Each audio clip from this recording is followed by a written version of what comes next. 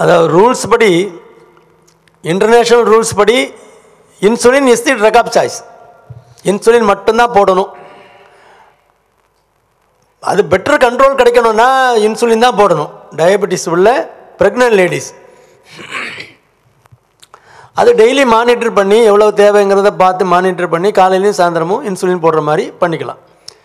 அல்லது மெட்ஃபார்மின் ஏற்கனவே அவங்க பாலிசிஸ்டிக் ஒவேரியன் டிசீஸ்னு அந்த மென்ஸ்ட்ரல் இரகுலாரிட்டி இருந்து அதுக்காக வேண்டி மாத்திரை சாப்பிட்டுட்டே இருந்திருப்பாங்க கன்சீவ் ஆகிருப்பாங்க அப்படி இருக்கிற பட்சத்தில் மெட்ஃபார்மினை நிறுத்தணும்னு அவசியம் இல்லை.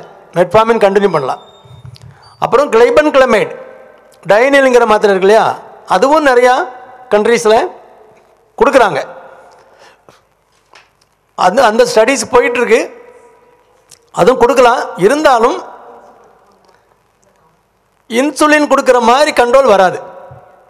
இன்சுலினில் நல்ல பெட்டர் இன்சுலின்ஸ்லாம் இருக்குது இன்சுலின் நிறைய வகைகள் இருக்குது அனலாக் இன்சுலின்ஸ்னு இருக்குது அந்த மாதிரி இன்சுலின் கரெக்டாக கொடுத்தீங்கன்னா நம்ம எவ்வளோ கேட்குறோமோ அந்த டோஸு கரெக்டாக அட்ஜஸ்ட் பண்ணி கொண்டு வரலாம்.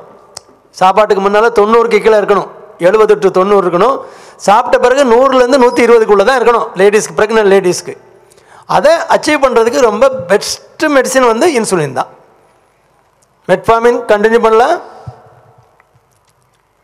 டய கிளைபன் கிளமேடுங்கிற அந்த டைனியல் குரூப்பை மாத்திரையும் கண்டினியூ பண்ணுறாங்க அது ஸ்டடீஸ் ஒன்றும் குழந்தைக்கு கெடுதல் இல்லை அப்படிங்கிற ரிப்போர்ட்லாம் வந்திருக்கு நிறையா வந்திருக்கு. அதுவும் நிறைய இடங்களில் கொடுக்குறாங்க. இன்டர்நேஷ்னல் அக்செப்டட் ஸ்டாண்டர்ட் வந்து இன்சுலின்